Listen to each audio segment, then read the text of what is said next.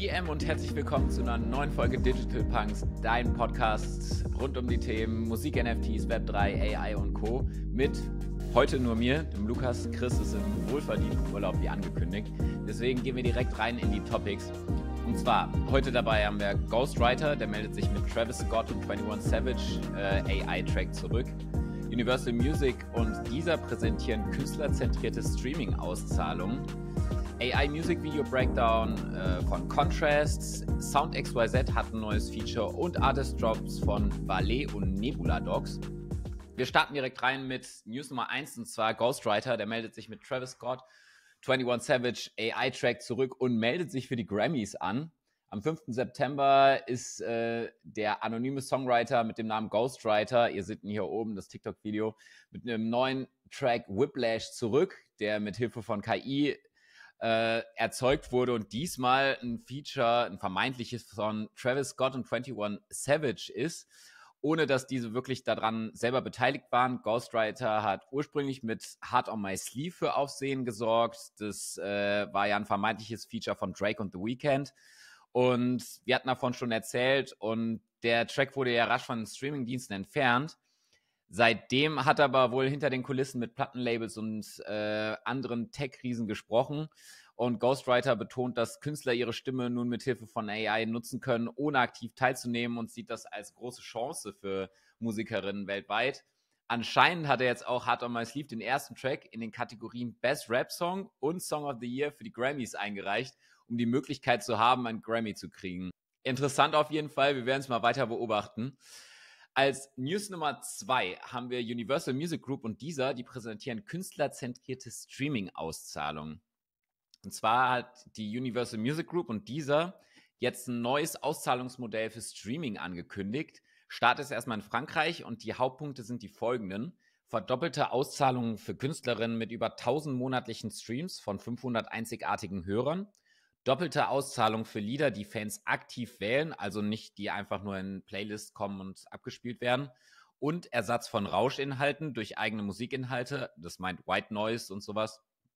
Strengeres Betrugserkennungssystem, wie das aussieht, war jetzt noch nicht im Detail dann erklärt. Dazu noch irgendwie ein paar Infos. Nur 2% der dieser Künstler haben mehr als 1000 monatliche Hörer. 7% der 2022er Streams waren anscheinend betrügerisch. Also höher als irgendwie frühere Schätzungen, die sich auf so 2% belaufen haben.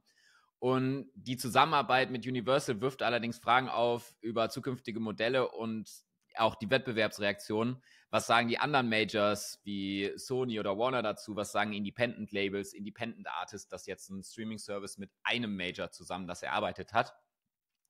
Und ob das zu besseren Einnahmen für Künstler führen wird, wird sich auch zeigen. Das aktuelle Modell für Künstler ist auf jeden Fall nicht nachhaltig. Ähm, das hat sich ja mittlerweile gezeigt und ist wahrscheinlich auch allen bewusst. Deswegen kann man eigentlich nur begrüßen, wenn mit neuen Methoden experimentiert wird, auch wenn hier jetzt in dem Fall noch einige Fragen offen bleiben. Als dritte News haben wir AI-Musikvideo-Breakdown von Contrast. Das Topic ist so ein bisschen KI-Technologie als Artist nutzen. Wir hatten ja von dem Drop bei einer Band Contrast berichtet. Da haben wir mit Hilfe von KI ein komplett animiertes Video erstellt da öfter die Frage aufkam, wie das jetzt gemacht wurde. Hier ein kleiner Breakdown. Wer das Video anhat, der kann sehen, wie das Video aussieht, während ich erzähle. Äh, wir haben mit verschiedenen Tools rumgetestet, mit Journey, Runway, Kyber. Und am Ende ist dann die Wahl auf Kyber AI gefallen, wegen der Video-zu-Video-Umwandlung, die besonders bei Gesichtsausdrücken und den Händen gut funktioniert hat, was ja aktuell oft bei KI noch ein Problem ist. Das Ausgangsmaterial, ähm, einfacher Auftritt vor der Wand, und wir haben dann die Performances mit Hilfe des Tools in Anime-Szenen umgewandelt. Nach mehreren Durchgängen hatten wir ungefähr 40 Videos, haben auch ein paar Szenen erstellt von der Landschaft, die einfach mit Text to Image erstellt wurden oder Text to Video. Also da gab es keine Vorlage, nur Text. Wir haben das dann, diese 40 Videos insgesamt, in DaVinci Resolve reingezogen, ähm, Nachbearbeitung dann in After Effects gemacht. Und ja, das Ergebnis ist ein KI-unterstütztes Musikvideo das Fazit ist so ein bisschen, KI alleine kann keine perfekten Musikvideos erstellen bisher, aber es ist ein mega geiles Werkzeug, wenn es richtig eingesetzt ist, um die Kreativität zu boosten. Also, wenn ihr Fragen habt, meldet euch dazu gerne. So, dann kommen wir zu News Nummer 4. Sound XYZ hat nämlich jetzt ein neues Feature und zwar kann man den Sekundärmarkt, den Zweitmarkt direkt auf Sound auf den Songseiten jetzt selber quasi ähm, nutzen. Also ausverkaufte Tracks direkt auf der Songseite äh, sammeln. Das heißt, wenn man einen Drop verpasst hat und der ausverkauft ist, dann ist es kein Problem. Man kann dann trotzdem auf der Songseite jetzt auf Collect Now klicken und man kriegt dann automatisch den besten Deal. Und 10% gehen immer an den Künstler. Das heißt, wenn jemand den Song eingestellt hat oder mehrere Leute, man kann dann immer zum günstigsten Preis direkt auf der Songseite kaufen. Das war vorher nicht möglich. Das macht es auf jeden Fall einfacher jetzt. Und wenn, kein, wenn es nicht sichtbar ist, dieser Collect Now-Button, dann kann man das im Sound Market nach wie vor noch machen, dass man da Angebote auf die Collection verteilt oder natürlich auf OpenSea und anderen Marktplätzen auch Angebote verteilen oder gucken, ob sie da angeboten werden. Äh, dieses Feature gilt aber erst für Songs nach dem 21.09.2022. Für, den, für die da vorliegenden Tracks soll es aber auch noch ausgerollt werden. Zu guter Letzt haben wir auch noch ein paar Artist-Drops dabei und wir starten mit Valet mit Moody Dirty Sweaty. Und zwar ist es ein Musikvideo-NFT, also mal was äh, anderes als nur die reinen Musik-NFTs, wie wir sie meistens haben. Die kolumbianische Künstlerin Valer hat den Song Moody Dirty Sweaty nun als Musikvideo-NFT herausgebracht. Den Track konnte man vorher auf Sound schon collecten. Das Ganze auf Zora, limitiert auf 25 Mints zum Preis von 0,033 ETH.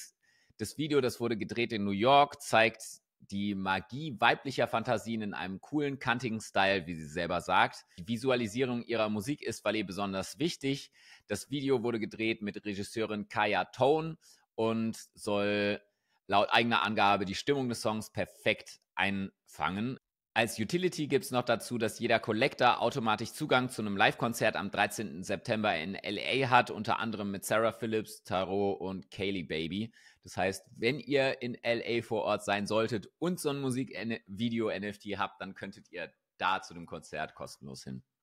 Ansonsten der Link dazu ist wie immer in den Show Notes auch zu dem Musikvideo. Dann könnt ihr euch das angucken und gegebenenfalls minden. Aber wie immer, no financial advice. Ihr entscheidet da selber. Und als Drop Nummer zwei haben wir Nebula Dogs mit Liquid Dreams, Album Preview. Das äh, Debüt der brasilianischen Band ist ein multimediales Kunstprojekt. Und das Konzeptalbum, das enthält zehn Songs, die bis Jahresende einzeln veröffentlicht werden, als Audio, Text und Illustration.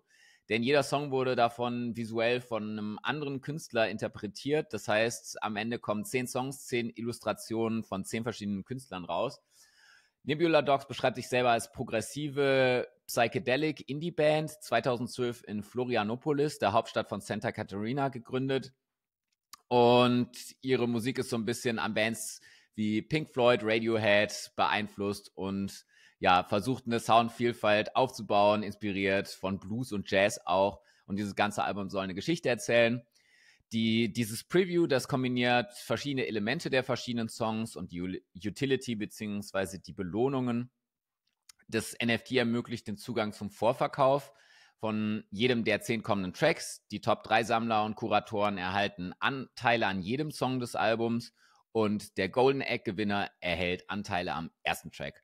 Kostet 0,0002 ETH auf Sound, also circa 30 Cent mit Soundgebühr, Transaktionskosten und so, also dann circa ein Dollar umgerechnet. Link auch unten in den Show Notes. In der Stelle, wenn ihr irgendwie selber einen Drop macht oder Leute kennt, die Musik-NFT Collectible, Collectible Drop in irgendeiner Form machen, dann lasst uns das auf jeden Fall wissen. Ihr könnt uns an digitalpunks.podcast.gmail.com schreiben. Ansonsten sind wir auch auf Twitter bzw. X ja jetzt unterwegs. Und ja, wir freuen uns, falls ihr es noch nicht gemacht habt, natürlich über ein Abo und wenn ihr auch den Podcast euren Freunden weiterempfehlt, das hilft uns nämlich sehr. Und ja, ich würde sagen, habt eine gute Woche, bis zum nächsten Mal und haut rein.